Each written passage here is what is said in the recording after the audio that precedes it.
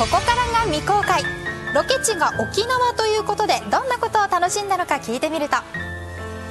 お休みの撮休の日は、はい。ゴルフが好きなんで、はい。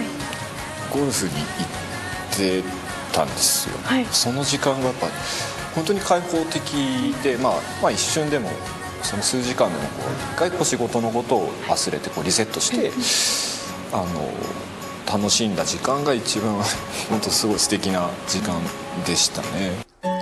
そして黒木さんが楽しんだことは？食べるのが大好きなので、調べてあの空いてる時間にここ行こうとかい。言って、マネージャーさんとずっといっぱいいろんな美味しいものを食べたりとか。特に美味しかったご飯とかって覚えてますか？タコス？